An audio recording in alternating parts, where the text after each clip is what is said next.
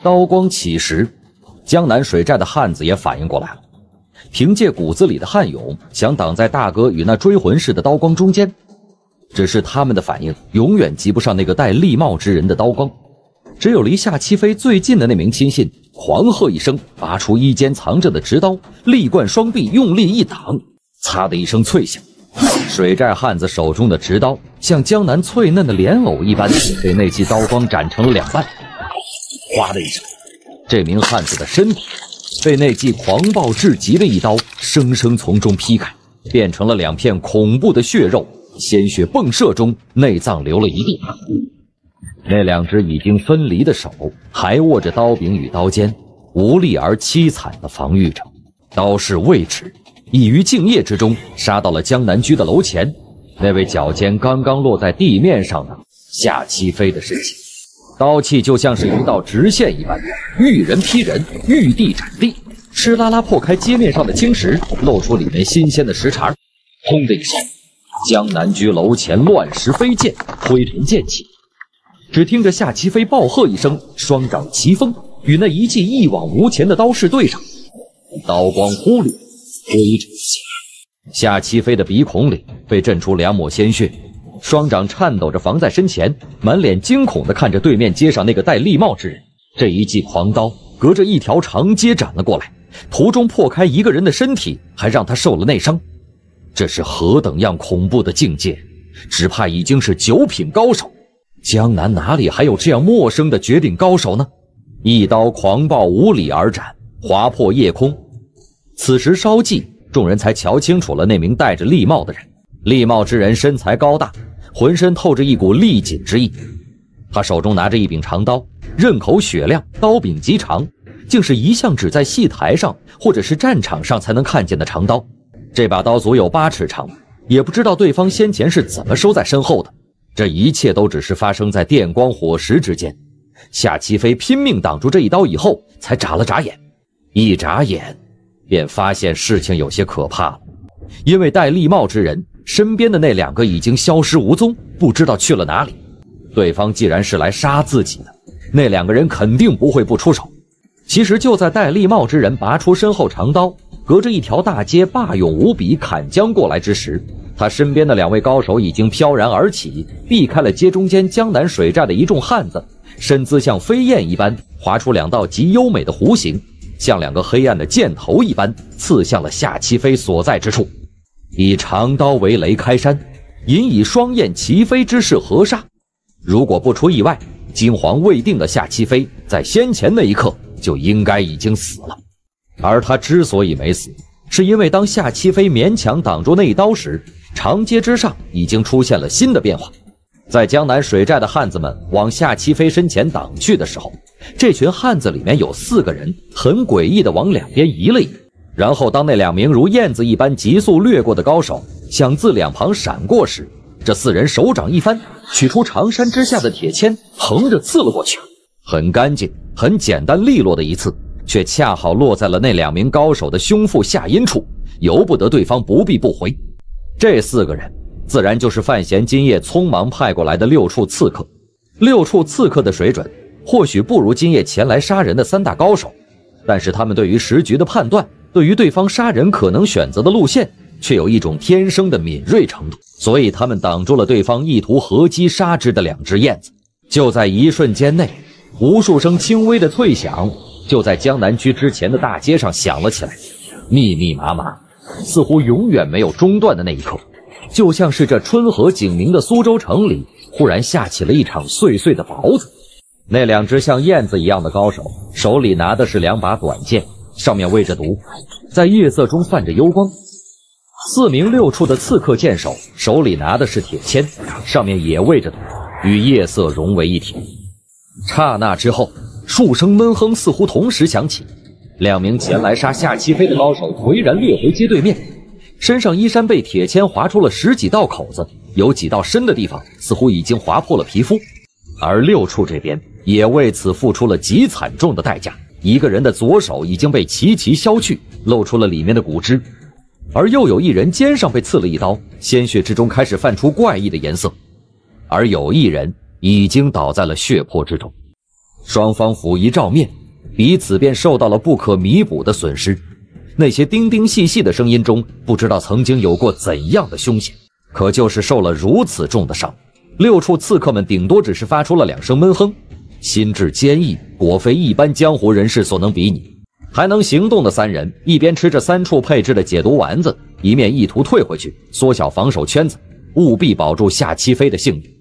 退回街对面的那两只燕子，似乎也没有想到夏七飞的身边竟然会有这样一群专业刺客的存在，竟然让自己受到了不小的伤害。二人对望一眼，知道对方肯定是监察院的人。对于监察院的毒药，无论是哪方势力的人都知道那种恐怖程度。由费介老先生一手打理的毒药。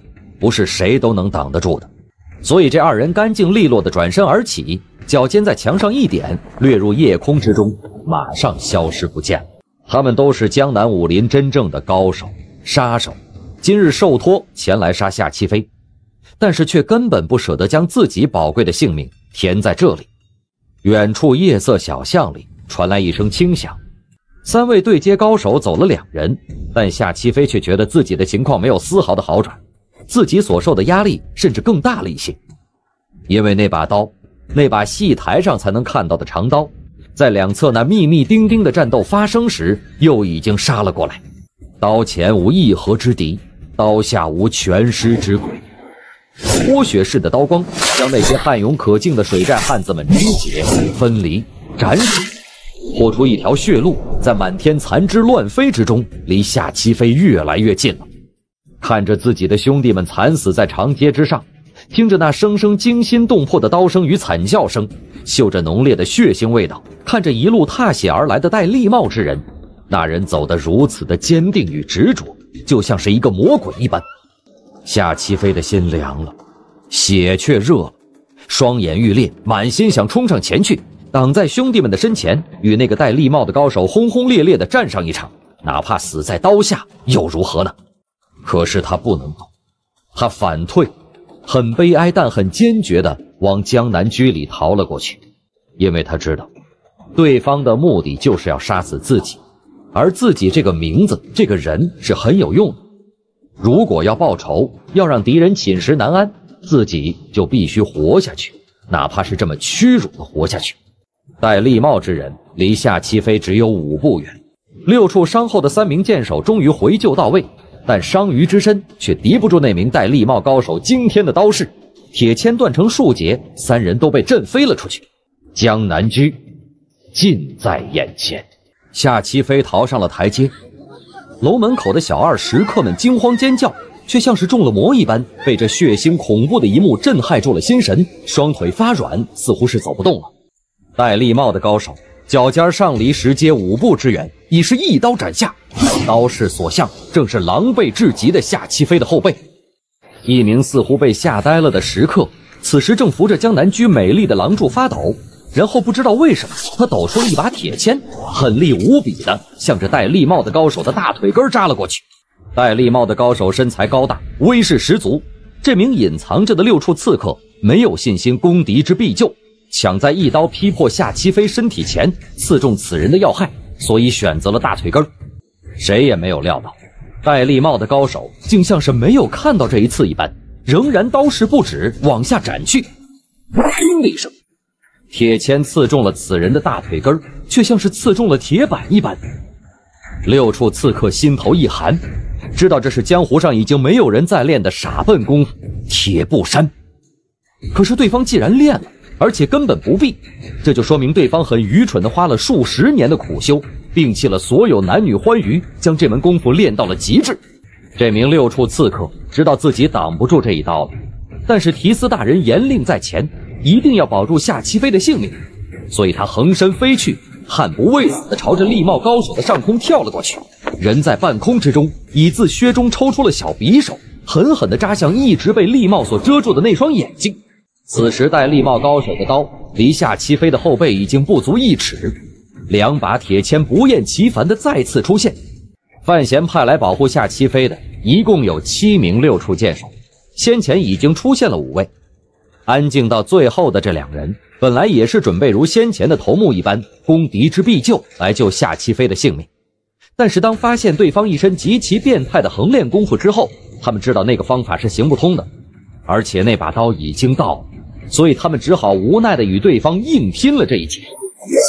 咔嚓两声极难听的响声起，两把铁钳没有断，却被震得脱了手。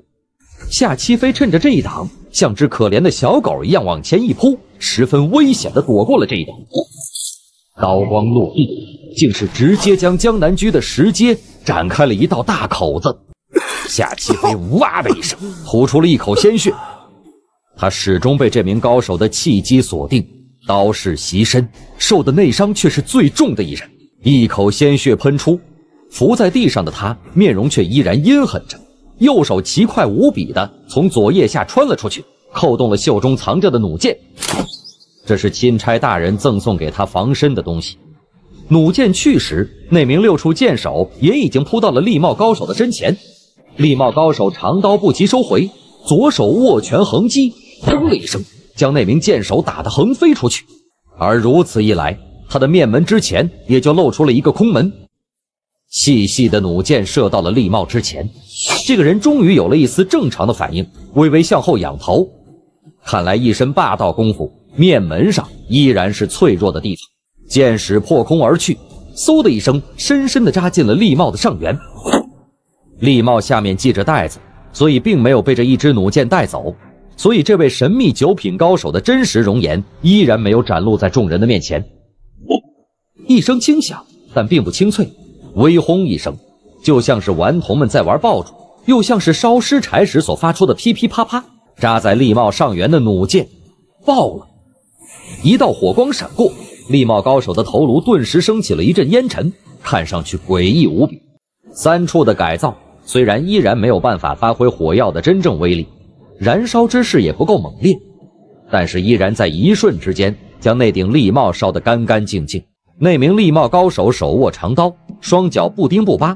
沉默地站在江南居酒楼之前，脸上一片漆黑，中间夹着恐怖的水泡，双眼紧紧闭着，不知道是生还是死。陡然间，他睁开了双眼，眼中闪过一丝暴怒。这位神秘的高手依然没有死，但让所有人惊骇莫名的，不是此人在这样的杀伤之下依然保住了性命，因为以对方的实力，本来就不是那么好杀死的。最让夏七飞与监察院众人惊骇的是，这位一直戴着笠帽的高手。原来是个光头。如今的天下讲究孝道，所谓身体发肤受之父母，没有人会胡乱剪头发的，更不用说剃个光头了。这个世界上唯一被允许以光头的面目行走的那类人，就是苦修士，信奉神庙的苦修士。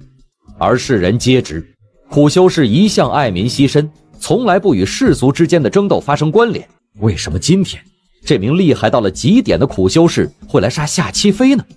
来不及思考这个令人震惊的问题了，因为这名苦修士再次擎起了那把恐怖的长刀，闷哼一声，双手执刀，向着台阶上的夏七飞砍去。势若风虎，千军难挡。千军难挡，一花可挡。石阶上绝望的众人只感觉面前一阵清风掠过，一片花一般的海洋盛放在自己的眼前。片刻间，驱除掉了酒楼前长街上的血腥气味，清香朵朵，沁人心脾。一双稳定而温柔的手提着一篮从梧州买来的廉价绢花，迎在了那柄一往无前的长刀锋锐处。刀来得极快，那双手动得更快。不知为何，下一刻，那个花篮就已经挂在了那把长刀之上。刀势极猛，那个花篮极轻。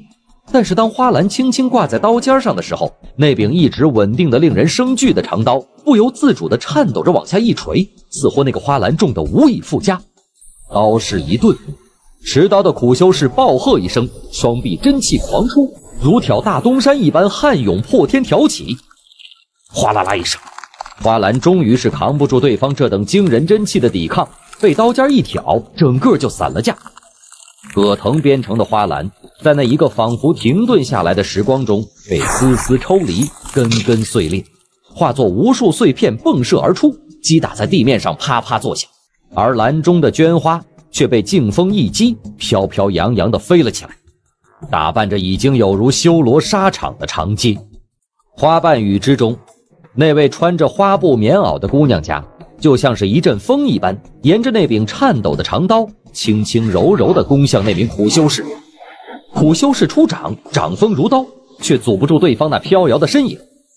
片刻之后，那双温柔的手掌轻轻一拍刀柄，再弹指而出，直刺苦修士巨掌边缘。